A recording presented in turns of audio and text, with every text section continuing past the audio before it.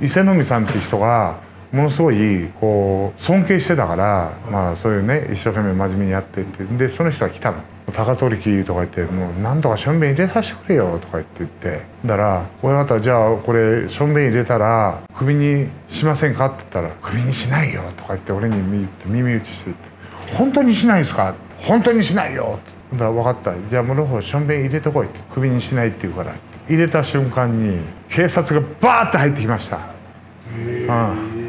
うん。で警察そこで何て言ったと思う、うん、いや今日のために散髪行ったんだよなって言って今日のために散髪行ったんだよな綺麗にテレビで映るかなとか言って。ああはめられたはめられたはめられたと思った